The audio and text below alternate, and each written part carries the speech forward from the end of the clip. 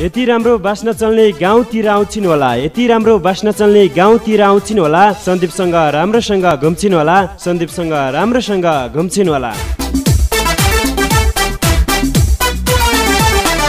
ऊ माथिको डाँडोको मन्दिरमा जान्छन् होला ऊ माथिको डाँडोको मन्दिरमा जान्छन् होला सन्दीपकै हुन पाम भनी वरदान माग्छिन् होला सन्दीपकै हुन पाम भनी वरदान माग्छिन् होला यति राम्रो बाँच्न चल्ने गाउँतिर आउँछिन् होला सन्दीपसँग राम्रोसँग घुम्छिन् होला सन्दीपसँग राम्रोसँग घुम्छिन् होला तेरो त सन्दीपसँग लाभ परेको छ रे भन्दा होइन भने ढाँचिन् होला तेरो त सन्दीपसँग लाभ परेको छ रे भन्दा होइन भने ढाँचिन् होला सबै जिन्दगी मैसँग व्यतीत गर्छिन् होला सबै जिन्दगी मैसँग व्यतीत गर्छिन् होला